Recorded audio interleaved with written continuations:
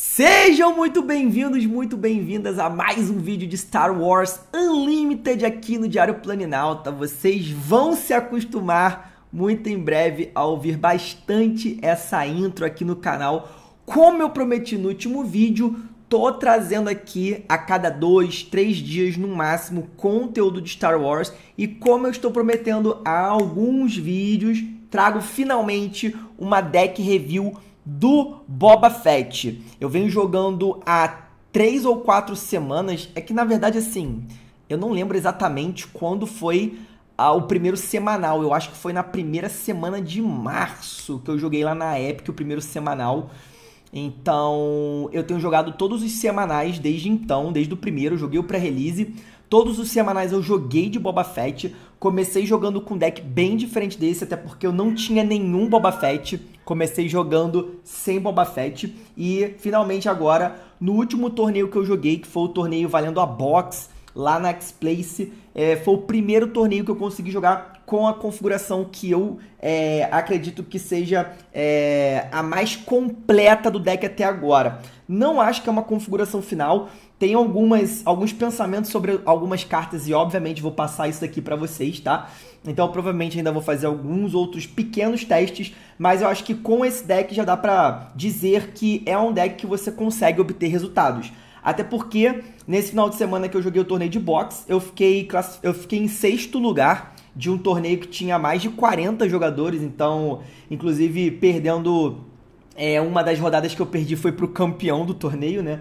Então dá para se dizer que os jogos que eu ganhei, eu ganhei de 2 a 0 os jogos que eu perdi, eu perdi de 2 a 1 Então dá para se dizer que é sim um, um deck muito é, é, completinho e bem forte, bem competitivo, tá?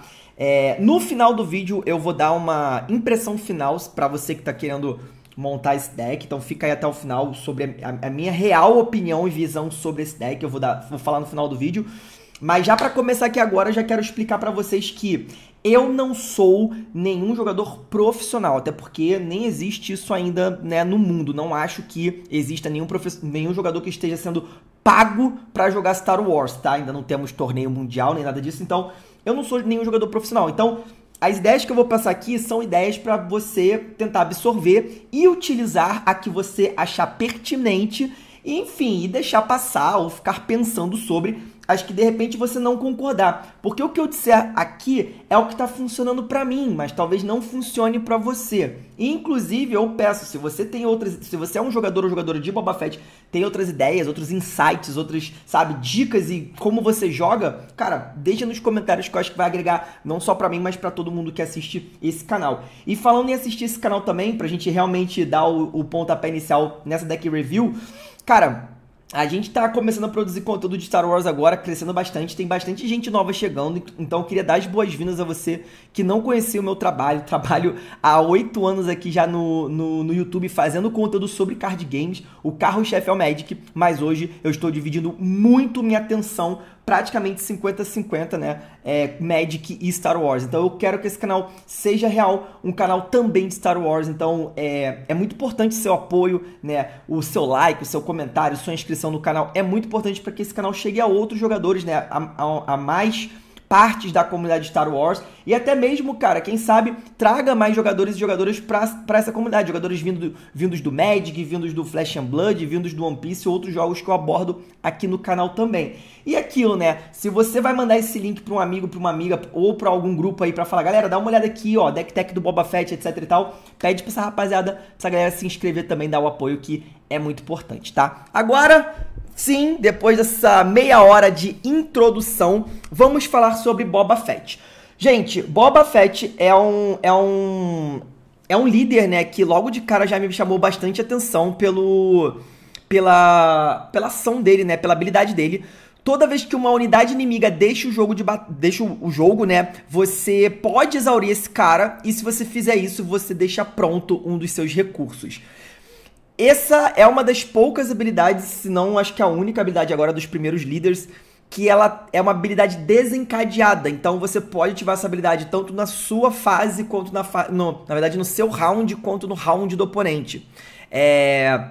E ele é um dos líderes que dá deploy, né, mais cedo no jogo. Ele dá deploy com 5 e ele vira um líder 4, né, barra 7, quando ele completa um ataque. Se uma unidade inimiga deixou o campo, né, o jogo nessa fase, você deixa pronto até dois recursos. Então, normalmente, a gente vai dar deploy nesse cara no turno 5, a não ser que a gente dê muita sorte a gente consiga fazer ele no turno 4.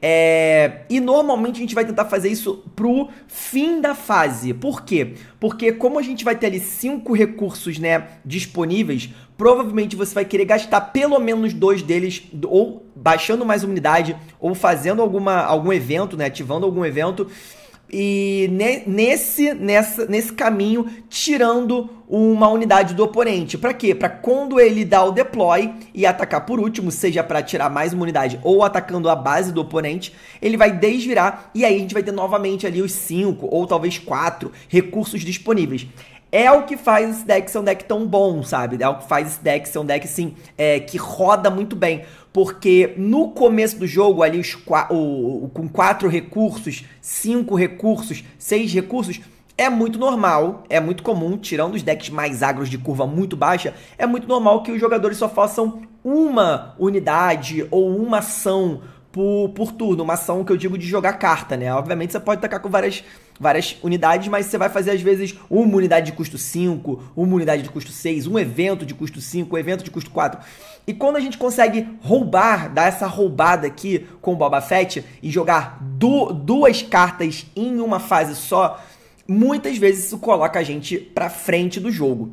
O estilo de jogo do Boba Fett é conhecido como mid-range, pra galera que tá chegando agora. Eu sei que pra galera que já manja muito de card game, eu vou dar algumas informações e falar algumas coisas que são muito básicas para vocês, mas a gente tem que entender que tem muita gente também que tá chegando no mundo dos cards games agora. O que, que é um deck mid-range, né? Como o nome diz, mid, ele joga. O, o power play dele é pelo meio do jogo.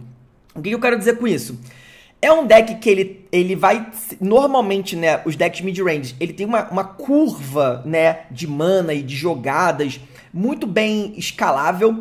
Ele tem jogadas cedo no jogo, então normalmente ele não fica sem fazer nada no começo do jogo. Ele tem jogadas bem fortes na metade do jogo. E normalmente as jogadas dele de fim do jogo são as jogadas para finalizar a partida. Só que, normalmente, decks mid-range, eles trabalham com cartas que dão muito recurso, que dão vários tipos de pequenas vantagens, é, vantagem de carta na mão, ter mais carta do que o oponente, jogar mais, mais mágicas, mais, enfim, fazer mais ações com o oponente. E aí ele consegue se comportar é, conforme o deck que ele está jogando contra. Então, se a gente estiver jogando contra um deck agressivo, uma Leia, uma Sabine, o deck mid-range, deck do Boba Fett, ele vai normalmente ser um deck de controle no começo do jogo. Você vai controlar. O que, que eu quero dizer com controlar? E aí eu vou mostrar as formas de fazer isso. Você vai destruir né, as unidades dos seus oponentes ou vai devolvê-las para mão. Você vai atrasar o máximo de jogo do seu oponente para poder manter o máximo de vida. Porque quando chegar no seu pico de poder, ali no turno 6, você vai ter vida bastante, né, ainda, para poder passar por cima do seu oponente. Então você vai acabar botando mais poder na mesa, né, tendo controlado o começo do jogo, o seu oponente não conseguiu explodir sua vida e você vai conseguir finalizar ali é, com 7, 8 recursos, 9 recursos, sem que o seu oponente consiga se defender, porque você vai ter muito poder na mesa. Já quando você joga contra um deck controle, aí você tem que ser o jogador agressivo. Você tem que atacar a base do seu oponente rapidamente. Você tem que se livrar de, de, de unidades que, por exemplo, tem sentinela e estão protegendo a base do seu oponente de formas mais criativas e mais rápidas, né? Você não pode perder, tentar não perder dois recursos para poder se livrar de uma, um recurso só do oponente. Então você vai acabar tendo que ser rápido nos dois, três, quatro primeiros turnos, porque quando o seu oponente fizer o controle, né, estabilizar a mesa, você já vai estar tá bem para frente no jogo e o seu oponente não vai conseguir voltar mais. Você tem que se colocar num estado de jogo onde mesmo o seu oponente chegando no pico de poder do deck dele, ele não consiga mais voltar pro jogo, porque você já atropelou muito rápido. Obviamente eu vou explicar mais ou menos com as cartas que eu tenho aqui, é, como que eu me comporto em cada partida. E a partida normalmente mais complexa para mais complexa para decks de mid-range são as mirrors de mid-range, né? E tem alguns bons decks de mid-range hoje sem ser o Boba Fett.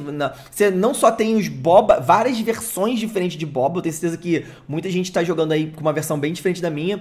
É, mas além disso, você tem outros decks que são um pouco mid-range também, né? Eu particularmente acho que Luke, apesar de é, se comportar muitas vezes mais controle, mas ele é um deck que pode ser bastante mid-range. A própria Era, eu joguei pouco, né? Joguei uma partida só, mas eu senti que ela também é um deck meio que mid-range, meio que parecido com o nosso, né? Contra controle ela quer ser agro, contra agro ela quer ser controle. Então eu acredito que são partidas mais difíceis. Por quê? Porque você precisa entender na partida quem é a pessoa agressora, né? É, é um conceito básico de card game, né? Que, enfim, foi escrito por um jogador profissional de Magic há muitos anos atrás, que é o famoso Who's the Beatdown? Quem é a pessoa que tá agressivando? Você tem que reconhecer para saber se você vai ter que ser mais controle se o seu oponente estiver adotando uma postura mais agressiva, só que efetivamente. Às vezes o seu oponente não percebe que o seu deck está sendo mais agressivo do que o dele, e ao invés de se comportar como controle, ele vai se comportar como agressivo. Só que enquanto você tá causando às vezes 6, 7, 7 de dano por por turno, por fase, seu oponente está te causando 4. Então, o beatdown é você, né? Então, não se preocupe. Enquanto você tiver mais poder do que ele, você é que está sendo o agressor. Então, é bem complicado, bem chatinho. Cara, pra escolha é, de base, né, boba verde, eu acho eu acho que só existe um motivo para você não usar a Energy Conversion Lab hoje, é você não ter essa carta e não ter dinheiro ou, ou não quiser gastar dinheiro com ela. É o melhor motivo para mim, é um bom motivo na verdade, né? E para mim o único motivo. Se você usa uma base de 30 de vida, porque você, mesmo tendo uma Energy Conversion Lab, mesmo podendo pegar uma carta dela, dessa, né, trocando ou comprando, e você usa um, um, um terreno, um, uma base de, de 30 de vida, é, você provavelmente está fazendo isso porque no seu metagame tem muitos, muitos, é, muitos decks agros. E aí você precisa pensar melhor no seu deck, tá? Essa é minha opinião. Essa é a minha opinião. Se você achar que eu tô errado, fica à vontade para colocar no, no nos comentários, mas essa particularmente é minha opinião. A Energy Conversion Lab, a habilidade dela é a seguinte: você joga uma unidade de custo 6 ou menos da sua mão, ela ganha ambush nessa fase. Então você pode desvirar e ela, né, ataca uma unidade do oponente. Eu vou explicar aqui por que, que essa base é tão importante, obviamente, com as cartas que a gente tem, tá? É... Mas vamos lá, lembrando que, assim, eu normalmente tenho jogado muitos jogos, tá? Muitos jogos contra decks de 30 de vida. E, cara, é difícil, tá? É difícil. Não é fácil você começar uma partida com 5 a menos de vida e, cara, ainda ter que, né, passar por cima do deck dos oponentes, cara, realmente é uma coisa complicada. Mas vamos lá, vamos falar carta a carta. Eu vou começar com uma carta que, cara, é, essa aqui eu acho que é óbvia, tá? Eu acho que não tem como, como não colocar o Grido no deck. É, ele, o Grido é uma criatura de 1 de custo 3 barra 1. Quando ele morre, você pode descartar a carta do topo do deck. Se não for uma unidade, ela causa 2 de dano a uma unidade de chão. Por que, Thiago, que esse cara é um must-have? Por que, que ele é meio que obrigatório no deck? Simplesmente porque ele entra no turno 1 e ele vai matar qualquer coisa, tipo, sei lá, 98% das coisas que você pode encontrar no turno 2, tá? E aí, esse cara, esse é o cara que ele é um ótimo exemplo de como a gente utiliza ele se portando com o deck mid-range. Se você estiver jogando contra o controle, o Grido é uma criatura absurdamente agressiva, tá? Ele normalmente, se você, você coloca ele no, no primeiro, na primeira fase e pega a, a iniciativa, no, no segundo, na segunda fase você já abre, né, batendo com ele, obviamente contra decks controles, e o seu oponente tem que resolver ele. Ah, Thiago, mas ele é muito fácil de resolver, ele é um de, de, de defesa. Exatamente. Normalmente o seu oponente vai ter que perder uma carta para resolver esse cara. E aí, se a gente abriu com uma unidade de custo 1, que já deu 3 de dano, o seu oponente normalmente vai pagar 2 ou mais numa outra carta, que pode ser uma unidade ou pode ser uma remoção, para tirar ele de jogo e não tomar, não ser, né, agressivado dessa forma logo no começo, ele já perdeu um ele já perdeu mais recurso do que a gente. É isso, entendeu? A gente já fez o trabalho. E num deck. E contra decks agressivos, esse cara ele tira muita carta da frente. Então, assim, eu, particularmente, no deck do Boba Fett, só quando eu estou muito desesperado eu faço essa habilidade, tá? Só quando eu estou muito desesperado. Eu acho que o Grido, quando você não tem uma manipulação de topo de deck, por exemplo, com o Almirante Tron, você sabe que carta que tem no topo. Então você consegue ativar a habilidade do Grido, é, tendo a certeza que você vai acertar esses dois de dano. Se você tiver num Boba Fett, você vai jogar cega. E assim, jogar recurso fora à toa nesse jogo, eu não acho bom. Então, por isso, eu só ativo a habilidade dele quando eu tô numa situação muito ruim. E aí, cara, não é legal. Se você tá numa situação ruim, já, já, já, já é indício de alguma coisa, né? Então, você, de repente, bate com esse numa criatura com, com, uma unidade com resistência 3 e tem uma outra unidade com resistência 2 que você precisa tirar da mesa, aí vale a pena você arriscar. Se não, gente, 90% das vezes eu não ativo a habilidade do Grid, tá? Passando pra frente, eu, eu, jogo com uma navezinha que eu não vi em nenhuma lista recente que fez top 8 ou que fez resultado, tá? Que é a Mini Guild TIE Fighter. É, ela não é uma carta que está no deck para ser agressiva, muito menos uma carta para ser defensiva. Ela é uma carta para entrar rápido no jogo e aproveitar a habilidade do nosso líder para dar recurso pra gente, para dar vantagem de mana. É muito difícil, por exemplo, um oponente querer trocar uma 2-1 nessa carta, tá? Muito difícil. E eu tenho percebido que a galera só dá valor a, a mini, mini TIE Fighter quando percebe que a gente tá no, no meio do jogo ali, no, com 5, 6 recursos, e eu tô com duas, três cartas a mais na mão do que o oponente. Aí que eles percebem a vantagem da mini guild. Eu acho que essa é uma carta que é necessária nesse deck? Não. Inclusive, quando a gente está falando de MD1, jogos melhor de um, que a grande maioria das lojas estão fazendo normalmente, é, eu acredito que ela pode dar lugar por exemplo, para Consortium Star Viper, que é custo 3, 3-3 é um corpo bem melhor do que o dela, entra já cedo no turno 2 e ela tem a habilidade de toda vez que a gente tiver iniciativa, a gente ataca com ela e recupera 2 de vida da nossa base. Eu estou usando ela no sideboard, vou falar mais, mais dela daqui a pouco, mas para MD1 eu acho que vale a pena essa troca. Para MD3, que é o melhor de 3, esse cara aqui, ele pode entrar cedo no jogo junto com um Grido, por exemplo. Então, já fiz turno 1, TIE Fighter e Grido. Mini, mini TIE Fighter e Grido, sabe? Então, você já tem 4 de poder no turno 2. E aí, dependendo do que você fizer, por exemplo, você pode é, enfim, bater com a mini guild, pagar dois, comprar uma carta, depois bater com o Guido, tirar uma, uma carta do oponente, virar o nosso líder, desvirar um, um recurso e de repente fazer mais uma unidade de custo 2 na mesa. Então, assim, é, que tem bastante coisa aqui também. É, então, assim, esse carinha é um cara que eu estou testando. Eu não acho que é um cara que ele, ele, ele provavelmente vai sair do deck para mais alguns testes.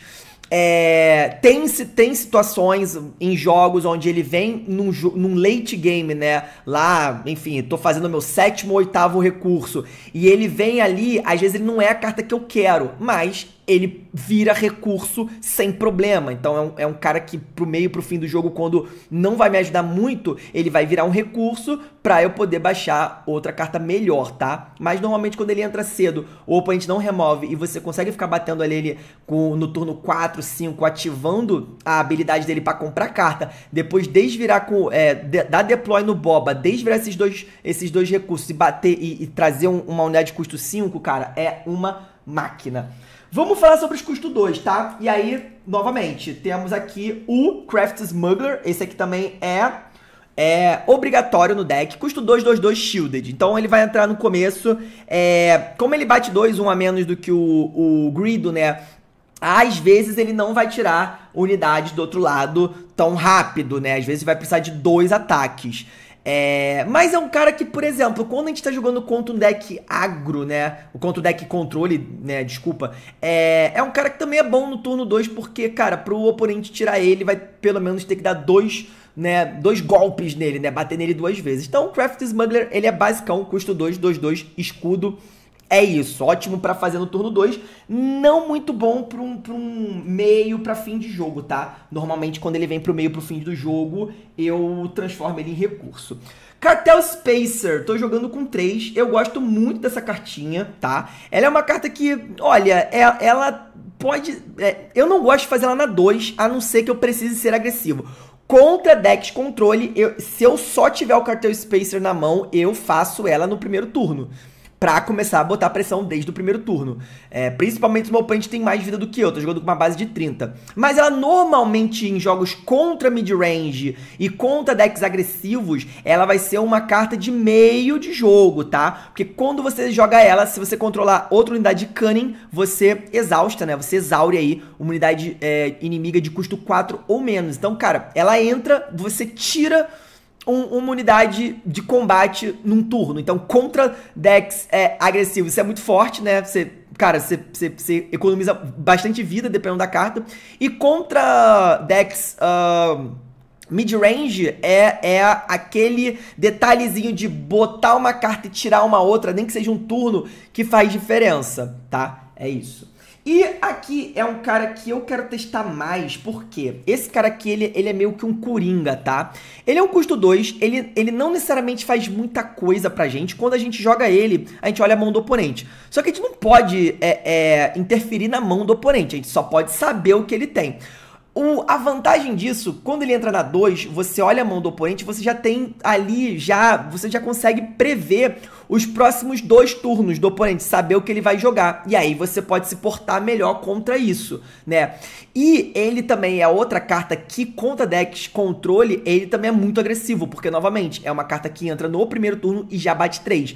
E diferente do grido, tem um de vida a mais, né? Então, um pouquinho mais difícil. Tem um bicho aqui passando. Só que eu tô jogando só com uma unidade dela. Então é aquilo. Talvez seja uma carta onde você possa testar duas, três. Ah, Thiago, aqui no meu metagame tá muito controle. Então, talvez botar três desse carinha e ser muito agressivo com esse deck. Ah, Thiago, meu deck aqui no meu ambiente, pô, tá mais agro. Então, não sei, de repente jogar com um, dois dele. Faz boas trocas ele também e já prevê o que o seu oponente vai fazer, tá? Aí a gente vai pro, pro, pro drop 3, começando com Super Laser Technician. Esse cara aqui já é staple do, do jogo, assim, né? Pra você que não sabe o que é uma staple, são aquelas cartas que, cara, vão em todos os decks que tem as cores dela. Então, se você tá jogando qualquer deck, né, é, verde e, e preto, né, você vai jogar com Super Laser Technician. É muito difícil você não querer aquele cara que entra no turno 3. Ele normalmente não derrota uma outra unidade, é bem difícil. Dá para derrotar algumas, né? Tipo, enfim, uma, um Probe Va um Viper Probe, se você estiver jogando uma Mirror, um Grido, enfim. É, mas ele normalmente não é o cara que vai remover. Ele é o cara que você vai bater pra tirar um escudo, tirar um pouco de vida e virar recurso. Se você estiver com esse cara na mão e todas as outras drop 3 na mão, 98,5% das vezes você vai fazer esse cara, tá? Você quer fazer esse cara na 3 e pegar a iniciativa para poder abrir o turno 4 batendo com ele, ganhando recurso. É, se o oponente faz alguma coisa, você faz alguma, você faz alguma coisa de custo 2, custo 3, custo 1.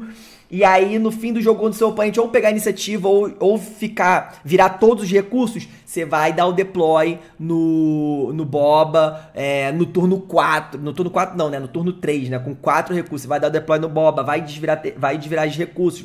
Enfim, Super Laser é muito bom, tá? E aí aqui cabe um parênteses. Eu não estou... Eu, eu vou falar por último, no final da, dos eventos, eu não estou jogando com Resupply, tá?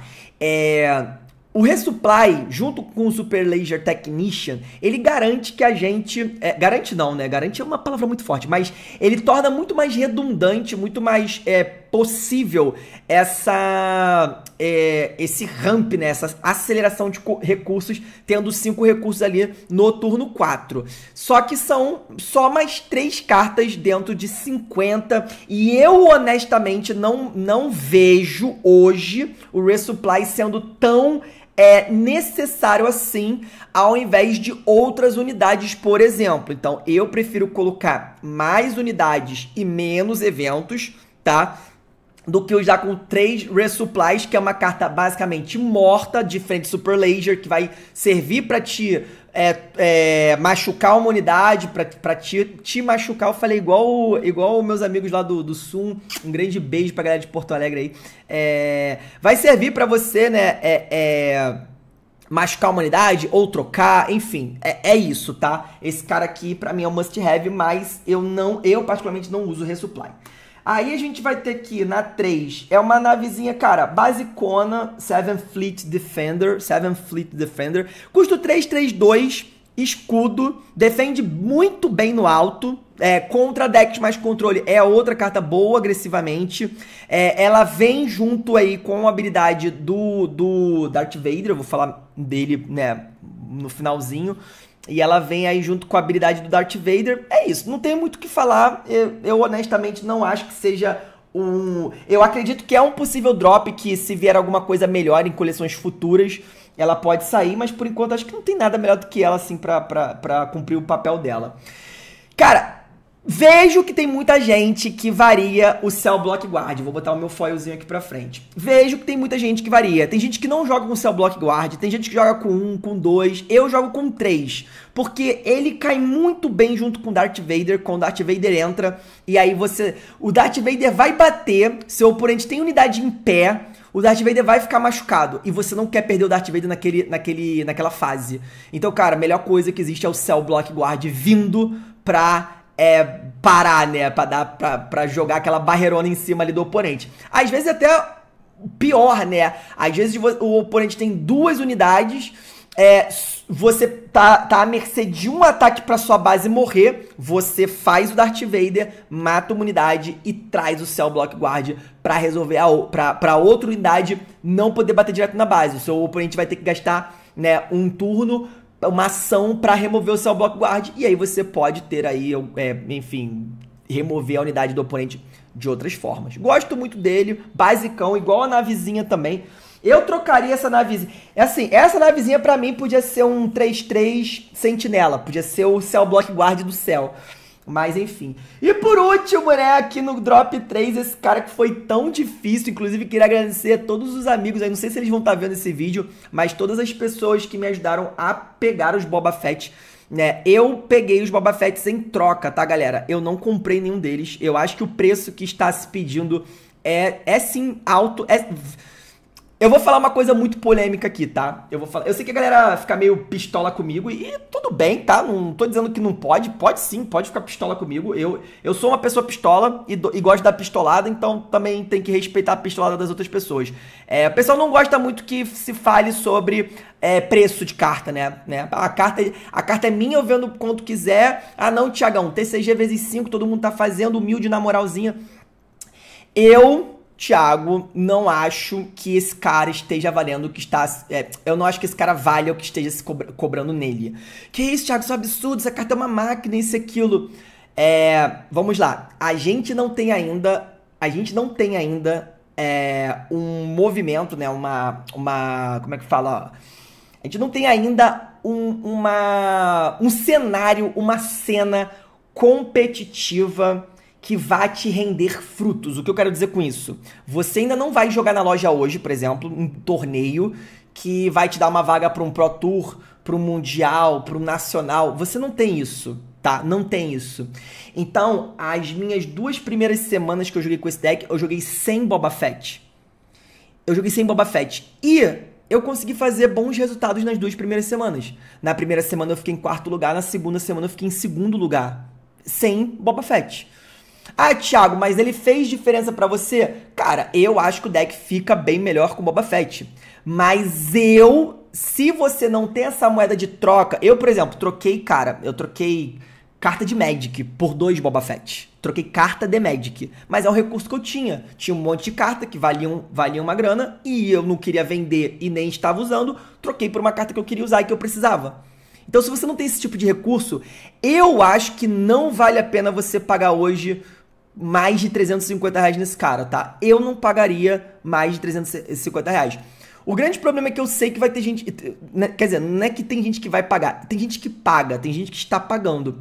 E aí são pessoas ou que tem muito dinheiro e para elas, é óbvio, que a galera que ganha mais dinheiro do que a gente, né, que eu e você que tá, que tá assistindo esse vídeo, a galera vê valor de uma forma diferente da gente, né? Óbvio.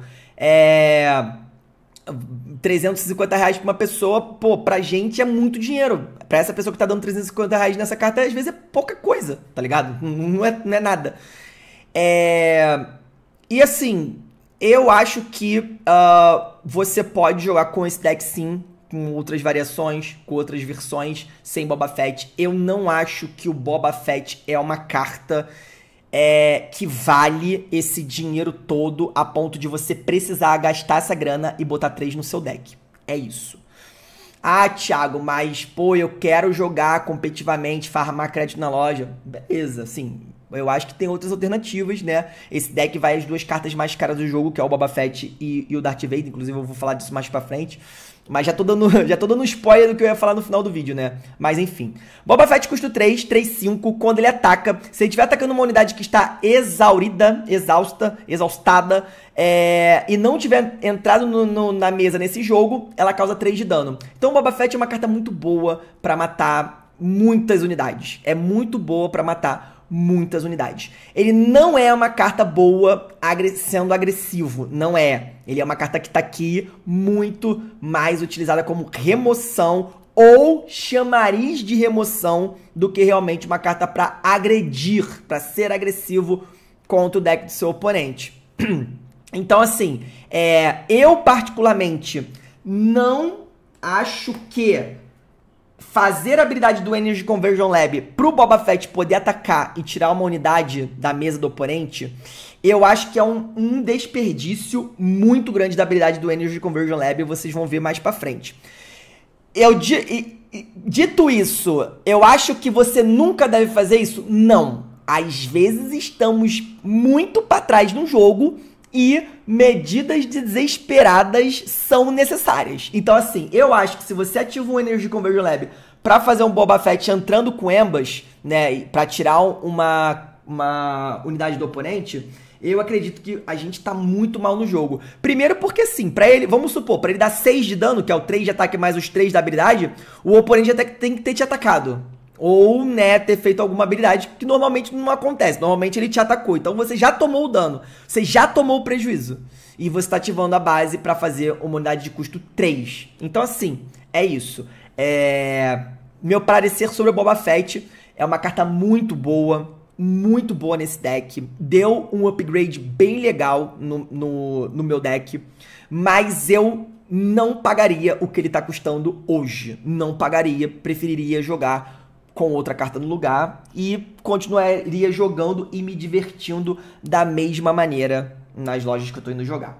Passando pra frente agora, a, agora eu preciso falar um, um negócio importante aqui, né? Drop 4. Gente, eu acho que esse deck está sofrendo de verdade no momento de qualidade drop, drop 4. Eu comecei as minhas primeiras versões do deck jogavam com o Strafing Gunship, que é um drop 4 maravilhoso. É uma navezinha 3-4, ataca unidade na, na Ground Arena, quando ataca dá, a unidade de Ground dá menos 2, menos 0 pro defensor. É uma carta que parece... É muito boa, não tem, cara, não tem como dizer que essa carta não é muito boa. Essa carta é muito boa. Mas, por incrível que pareça, é uma carta que eu não vi jogabilidade. Eu não. Cara, na, nas três primeiras semanas que eu joguei com ela no deck, eu não, ela não fez assim nenhuma diferença. Juro pra você, em nenhum deck. Tá... Então eu ainda não encontrei qual que é a match, qual que é a partida, qual que é a mecânica que eu possa abusar dessa carta. Se você usa essa carta e conseguiu já tirar, tirar o melhor valor dela no seu jogo, deixa nos comentários uma dica aí pra mim e pras outras pessoas, porque eu quero muito saber. Eu jogava com três main deck, depois eu, tava, eu testei duas e agora eu passei as duas pro side. Só que eu acho que eu já vou tirar elas do side também. E o outro top 4 possível nesse deck não é de todo ruim, tá? Inclusive, eu talvez colocaria até 4 desse... 4 é, não, né, Thiago? 3 desse cara. Se você não tiver os 3 Boba Fett, eu botaria 3 desse cara, tá? Você já tem, pô, outras 3 cartas drop 3, então poderia botar um drop 4.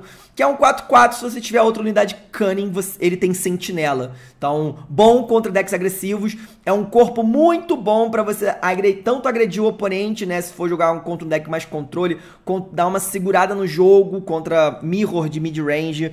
É, mas eu também botei esse cara no sideboard, mas tô achando que eu vou tirar. Então, drop 4 por enquanto, esse deck tá muito defasado, tá? Passando pra frente, tô jogando com dois boss, tá? Não jogo com três, justamente porque eu jogo com 3 drop 5. Eu tô usando nessa lista dois de cada. O primeiro deles é o Bosk, tá? Custo 545. O ataque dele não é muito bom, mas a defesa dele é boa. 5 é uma defesa bem boa. Ele tem ambush. Então, quando ele entra, você já pode fazer ele lutar, né? Já pode fazer ele atacar uma unidade inimiga. É, normalmente ele vai matar, 4 de dano é muito dano. E normalmente ele vai continuar vivo, porque, novamente, 5 de vida. E aí vem o upside, né? Você pode jogar um... É, toda vez que você joga um evento, você pode dar 2 de dano a uma unidade. E, cara, esse cara aqui caindo no, no, na mesa, no, no, na curva ali, com cinco recursos, né? Turno 4.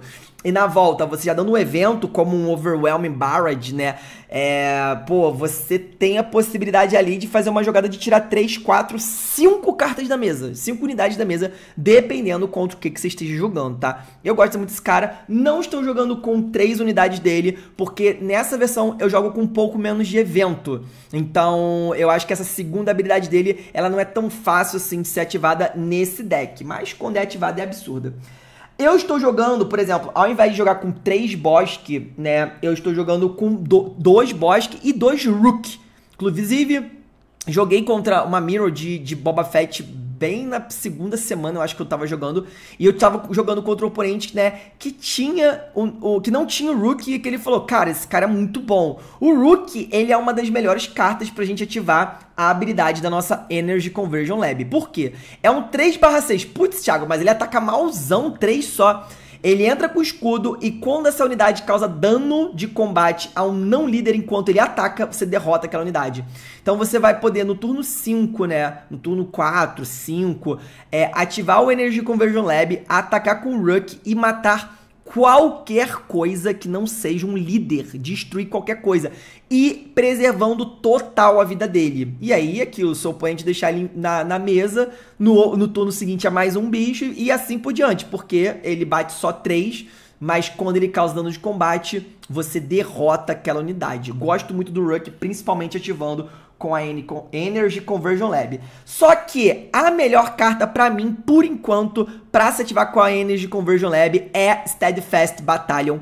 Cara, melhor turno que você pode ter jogando de Boba Fett é você fazer esse cara na 3, na 4, você conseguir atacar com ele removendo alguma coisa ou danificando para poder remover com outra coisa, ele virando é, é, recurso. Aí você vai pagar, sei lá, duas manas para fazer alguma coisa, pode ser uma unidade, pode ser um evento. Você vai pagar duas manas e aí você vai dar, você vai esperar obviamente seu oponente fazer o máximo de coisas possíveis, ficar todo virado de recurso, etc e tal, para você dar o deploy no boba, tá? Para dar o deploy no boba. Lembrando que, assim, você pode, inclusive, usar essas manas, usar três manas, tá? Você, tá, com, você tá com quatro. Você usa três manas para fazer alguma coisa. Então você fica com uma mana só em pé. E aí você ataca com o Super Laser, tira uma unidade do oponente e ele vira recurso. Então agora você tem cinco manas, três viradas e um em pé. Só que como sai a unidade da mesa do oponente, você vai tirar o Boba. Então agora você vai virar um, um recurso tem três manas em pé. E aí, no final, você vai de, dar deploy no Boba, bater com Boba e desvirar duas. Então, nesse turno 4, você usou 3 manas e agora você tem 5 manas para poder fazer Steadfast Battalion, que ela é uma 5-5 Overwhelm. Então, o, o Overwhelm para mim é a chave de tudo aqui, tá? Porque quando ela entra com Ambush, né, ela, ela não, não entra batendo na base. Mas se ela bate numa, numa unidade, né, que tenha 5 ou menos de resistência, o dano que ela vai passar é muito significativo, né? É, ok que, pô, seis ou menos, seis, seis, seis, ou menos, vai se porque quando a gente controla o nosso líder, ela, ela ou qualquer outra unidade aliada nossa ganha mais dois mais dois. Normalmente você vai botar mais dois mais dois nela, né? Porque aí ela vai ficar uma 7-7 que vai entrar batendo numa unidade. É muito difícil não matar nenhuma unidade assim. É, principalmente jogando no turno 4, né?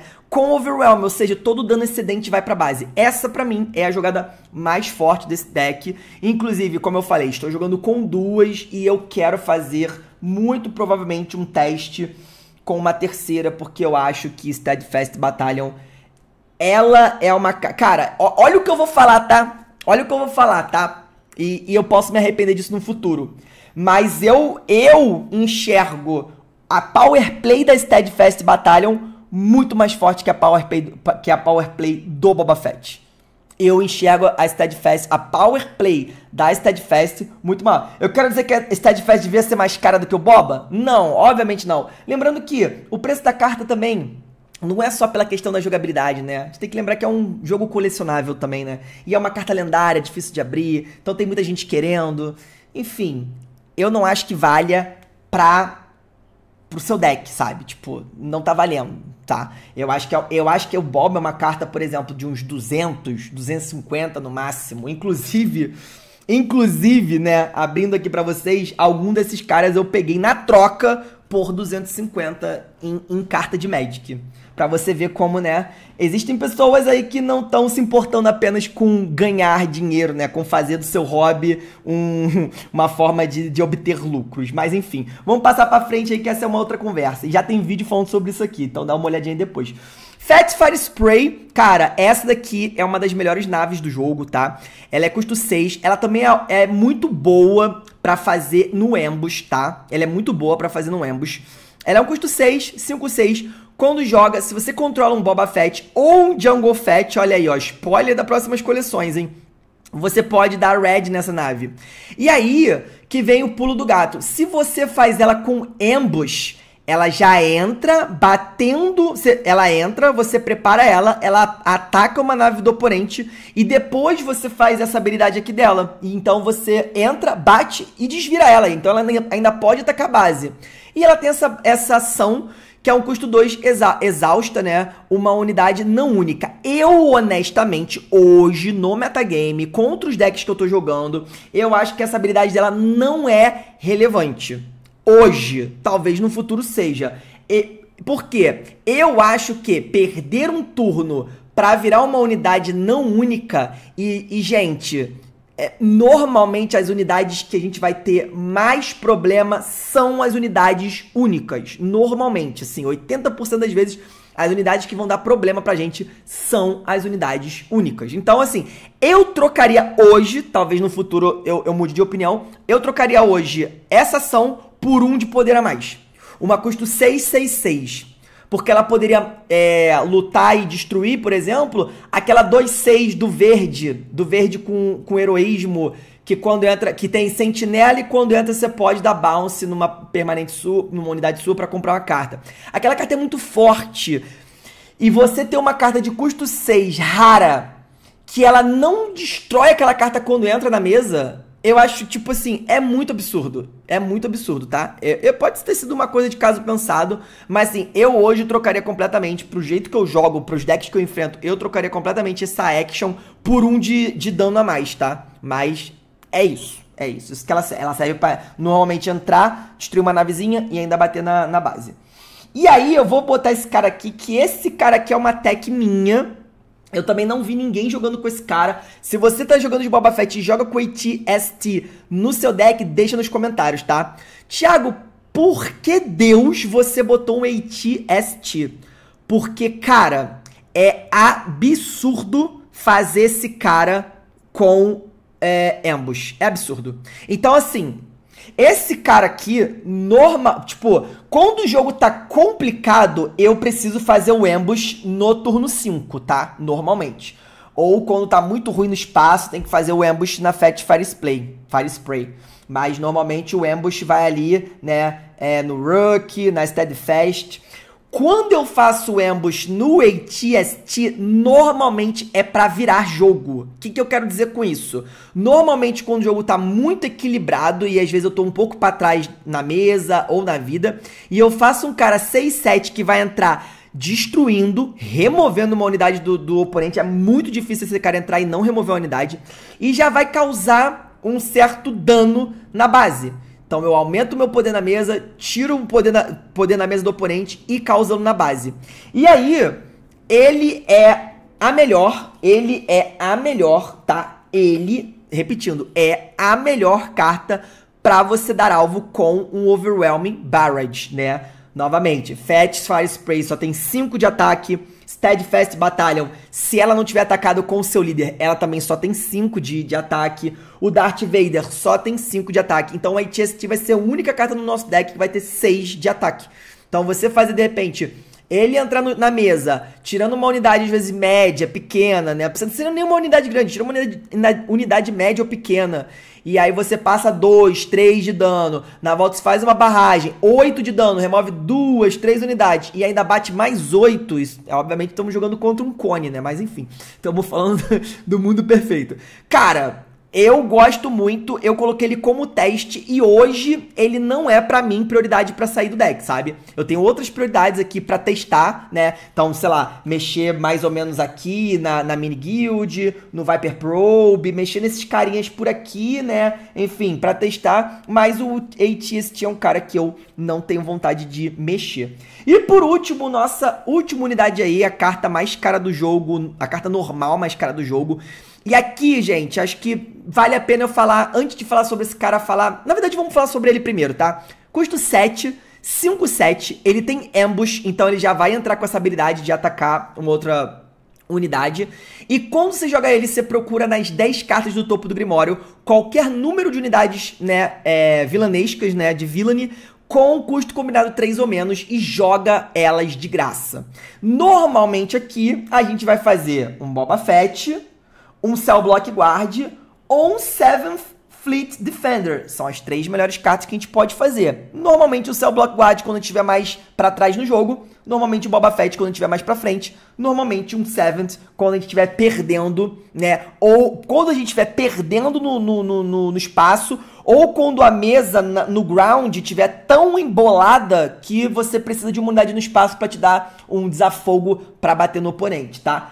É, essas são as melhores cartas para mim, tá? É, se você fizer um Super Lazy Technician, eu acho triste, tá? Principalmente no late game. Esse cara aqui é pra fazer na 3. É, é um cara pra fazer na 3, morrer na 4 e virar recurso, tá? Se esse cara entra no turno 4, no turno 5, 6, 7, cara, é triste. Só isso. E o Probe eu também acho que ah, não vai fazer tanta diferença também no late game, tá, gente? Pra ser muito honesto. É, eu antes estava muito feliz jogando só com dois dele, tá? Agora eu estou esperando para ver se eu consigo pegar um terceiro. Lembrando, ele é a carta mais cara do jogo, tá?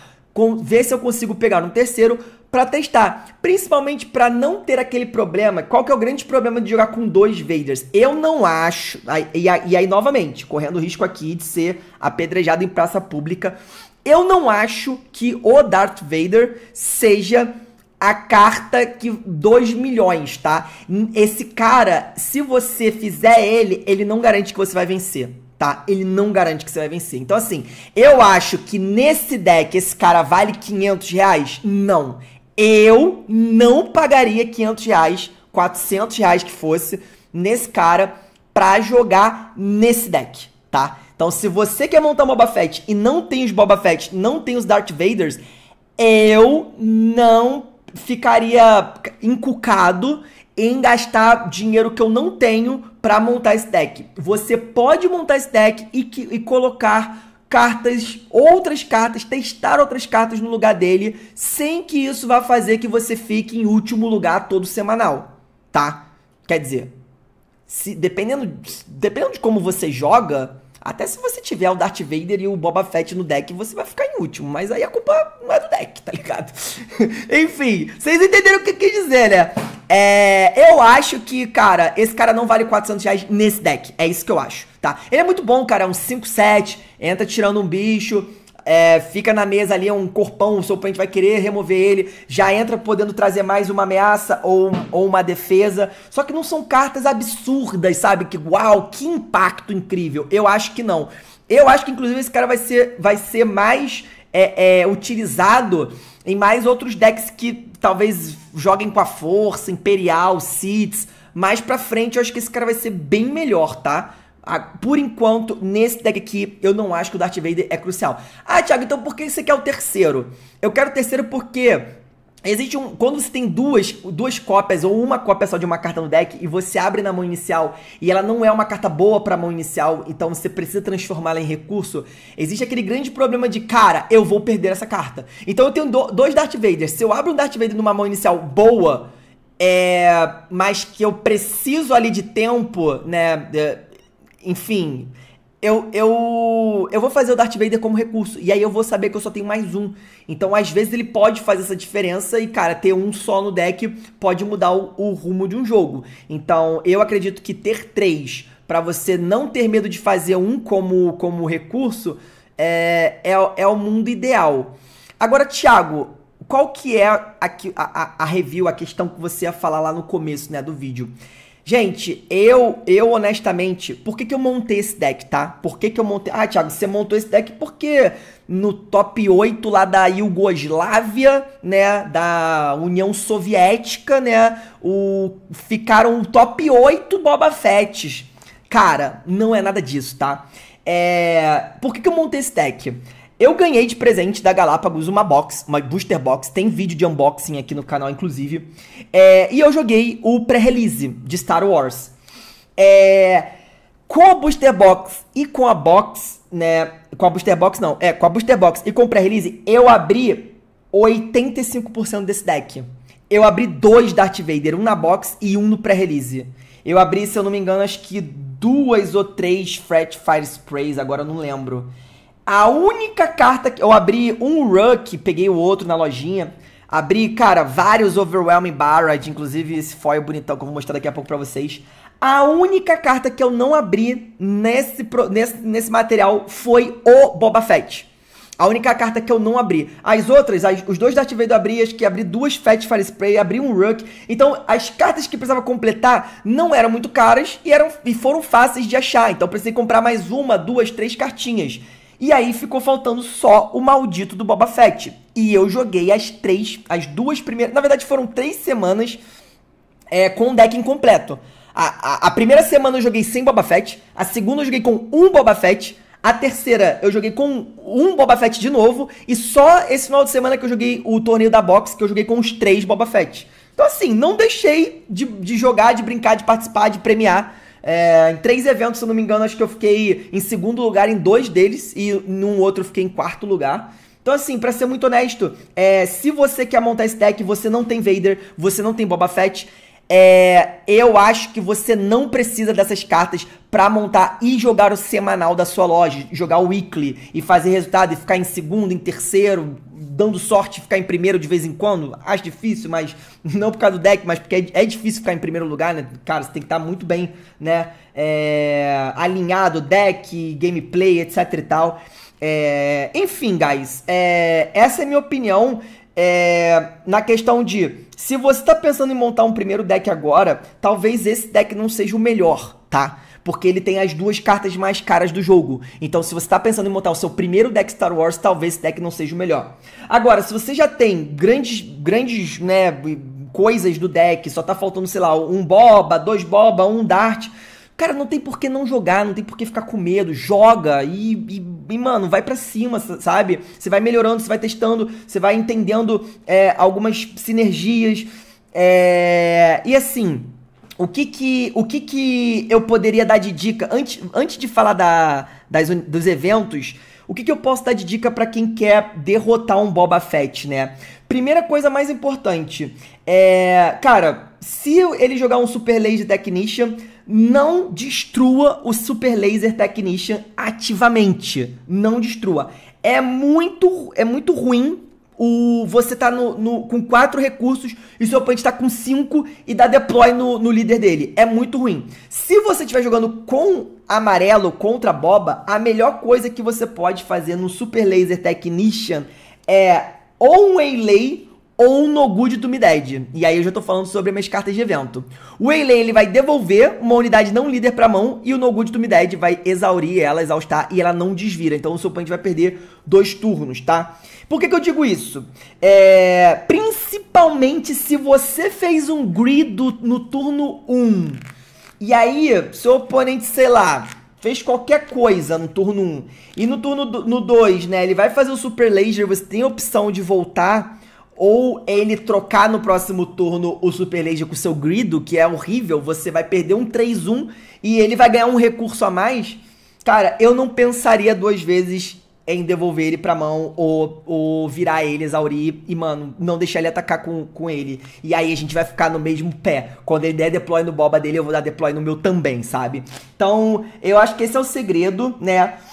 Eu acho que outro grande segredo é você também sempre estar preparado para a Steadfast Battalion. Eu acho que nem todo mundo usa o Rook, tá? Ele é uma carta que eu acho muito boa, mas nem todo mundo usa. Mas a Steadfast Battalion é uma carta muito forte, então esteja preparado para o turno 5 ou 6 principalmente se o oponente não tiver ativado a Energy Conversion Lab. Você vai tomar uma Steadfast. E outra coisa, né, que eu também vejo às vezes a galera errando. O Boba líder tem 7 de resistência. É. Cara, não tenha medo de perder uma unidade pra tirar ele da mesa, né? Porque às vezes, como ele tem 7 de resistência, muitas vezes o, a quem tá jogando de boba vai usar o Boba para tirar um bicho da frente. Então vai, vai tirar um bicho de 3 de poder, 2 de poder, vai machucar o Boba. Então, você tirar o Boba antes do oponente fazer, né, Steadfast, você garante que ele não vai ganhar esse mais 2 mais 2 adicional, que, cara, é muito opressor, tá? É muito opressor. É... E é isso, sim. Honestamente, não acho que tem muito mistério. É um, é um deck mid-range que você, é, se você tiver mais curvado, você vai para cima dele. Se você tiver um pouquinho mais para trás, você vai ter que tentar dar uma controlada. E, cara, é um deck, infelizmente, né? Pra mim, infelizmente, tem muitos recursos para lidar com muitas ameaças, né? O melhor evento do jogo, assim, cara, Melhor evento do jogo talvez seja exagero, que a gente tem uma carta chamada U-Wing, que é muito roubada também. Mas sem dúvida o melhor evento desse deck é o Overwhelming Barrage, tá? Você no com 5 de recurso, você dá mais 2 mais 2 pra um, uma unidade aliada nessa fase. E aí ela causa dano igual poder dividido entre as uni outras unidades, né? Então, cara, você, como eu falei, você faz isso num 6-7 ele vai ficar 8 de poder. Você distribui 8 de dano. Você faz numa com 5, vai ficar com 7 de poder. Enfim, é isso. Matemática básica aí pra galera. Então, cara, isso aqui é muito forte, principalmente se você consegue ainda atacar com aquela unidade nesse turno. Que aí você pode ou tirar uma, uma, uma unidade maior do que ela, ou causar muito dano na base. E Overwhelming Barrage, pra mim, são 3 e sem discussão, tá? As cartas que tem discussão é No Good to Me Dead, tem muita gente que joga com ela no side. Eu amo essa carta, eu acho que essa carta é uma carta que é a cara do Boba Fett, né? De, novamente, é duas, dois recursos só que esses dois recursos podem retornar para você, ou um, né? Ou os dois, se o Boba Fett for, for, for unidade, né? Então você pode, em tese, jogar essa carta de graça num turno. E, cara, essa carta para Luke, para. Cara, esses decks de big, né? De big bichos, né? Mano, ele vai tirar um bichão que vai te dar duas. Principalmente Luke, mano. Contra Luke, essa carta aqui é perfeita, tá? Enfim, ela vai exaurir, a unidade não vai desvirar. Eu uso três, mas tem uma galera que usa uma combinação aí de três no side, ou dois no main, um no side, um, um no main, dois no side, enfim. Aí vai conforme o seu gosto. Eu também uso três Waylays, tá? Inclusive eu tô querendo botar os três Waylays nessa versãozinha aqui bonita do Weekly Booster. É, esse aqui eu ganhei de presente do amigo, né? Acho que se não me engano, acho que foi o Gui que me deu de presente. Mas é, vamos ver, eu não tive sorte de abrir o Waylay ainda no, nos meus Weekly Boosters. Devolve uma unidade não líder pra mão do seu dono. Essa carta é muito boa também, novamente. É uma carta que é a cara do Boba Fett um deck que é um deck bastante mid-range, que você às vezes precisa ganhar tempo para poder fechar o jogo ou se colocar bem para frente na sua partida. Eu uso três. E por último, né, é, eu uso aqui uma combinação que eu ainda estou testando, tá, galera? Eu, eu, eu já usei três Shoot First é, e já usei três Surprise Strike. Hoje eu uso um Shoot First e dois Surprise Strike. Eu normalmente uso essas cartas, normalmente eu uso essas cartas para me livrar de problemas. Por exemplo, o Shoot First, ele é ótimo para você tirar uma unidade que ela é párea, párea, né, pau a pau com a sua, só que você não quer perder a sua. Então ele vai causar dano antes, antes de combate. Se a outra unidade morrer, ela não causa dano na sua. Então isso aqui te coloca pra frente. Fora que custa um, seu, você vai eliminar a unidade do oponente, o Boba Fett vai virar e você vai desvirar esse recurso, né? Então é quase de graça essa carta pra gente. Eu não uso mais três dela porque eu acho que essa carta é uma carta muito situacional, tá? Ela é muito pontual. E a mesma coisa com o Surprise Strike. Eu tava tendo dificuldade contra, por exemplo, deck do Chewbacca. Deck bota muita unidade com sentinela, com uma bunda enorme. 5, 6, 7, 9 de resistência. Mano, isso aqui fica ruim até pros bichos grandes passarem por cima. Só que com um mais 3 mais 0, cara. Esse mais 3 mais 0, eu, ó, na minha opinião, é, é uma, um evento que ele é ótimo contra mid-ranges, né? É, mas ele é bom contra controle também. Por quê? Por que, que ele é ótimo contra mid-ranges, né? Que tem resistência maior, maior do que o, o seu poder mas também é ótimo contra controle, porque às vezes você consegue botar pressão no seu oponente, mas ele consegue controlar a board e você vai perdendo suas unidades aos poucos e, e a quantidade de dano que você vai dando vai diminuindo. E aí num late game você de repente pegar uma, uma iniciativa, né? para poder começar a sua fase seguinte atacando, já com surprise ataque, às vezes você consegue finalizar o jogo por causa desses 3 de dano a mais, tá? Então essa carta para mim é uma carta muito legal também. Só que novamente, são três cartas para mim que são muito situacionais. Eu não acharia esquisito usar elas de side ou de alguma outra forma. Para mim as três que, pô, são minhas queridinhas, né? Overwhelm, Waylay e No Good to Me Dead, essas três aqui não saem do deck para nada. Vamos falar sobre o side, né? Já tinha falado sobre a Consortium, se você estiver jogando MD3, é, é sideboard. Se você estiver jogando MD1, é main deck, principalmente tendo um monte de Leia e Sabine hoje em dia nos metagames, tá? Ah, Thiago, mas eu jogo MD3, só que na minha loja só tem Leia e Sabine. Beleza, bota ela main deck, main deck e já garante que você ganha o primeiro jogo. Não é que você ganha, não é garante que você ganha, né? Mas é, você garante uma vantagem. Essas aqui são cartas que eu estou testando também, tá? Então eu botei mais dois Shoot First no side e um Traitorous. Um Traitorous porque eu só tenho um. Os dois Shoot First é igual que eu tenho na, no main deck, né? Mais um mais ataca a comunidade, mais um mais zero e ela bate primeiro. E o Traitorous aí, quando essa quando essa esse upgrade fica anexado num não líder de custo 3 ou menos, eu ganho o controle daquela unidade. E aí, quando essa, esse é, upgrade desanexa, o controlador ganha de volta o controle. Essa carta, cara, é uma carta que estão usando muito contra o Boba Fett. E se você tem um ambiente que tem tantos decks agressivos e tantos Boba Fett, não tem por que não usar. Eu quero usar duas delas de side, tá? Eu tô usando uma só porque eu só tenho uma, mas provavelmente eu vou trocar um desses Shoot First por uma Traitorous de, de sideboard. E aí, cara, como eu tinha mostrado, eu tava usando, mas assim, cara, nenhuma das partidas que eu joguei no torneio da box eu botei esses caras para dentro, nenhuma. E eu percebi que tem duas cartas aqui que eu tenho na minha pool e que eu vi jogando e que podem ser muito, muito, muito boas, tá? Em, em diversas matches. O meu Change of Heart, custo 6. Você toma controle de uma unidade não líder no começo da regroup phase e, e no começo da Regroup Phase, o dono dela toma, toma controle de volta dela, tá? É uma carta muito forte, porque você normalmente vai usar essa carta para fechar o jogo. É, é isso. É o que eu falei. Às vezes o deck mid-range, você vai pegar decks controles ou decks também mid-range, só que joga com unidades mais pesadas, e você vai agredir, agredir, agredir. Quando chegar no final do jogo, você vai precisar de uma uma passagenzinha para finalizar o jogo, você não vai conseguir. Eu, eu senti essa dificuldade, por exemplo, contra o Krennic contra o Krennic.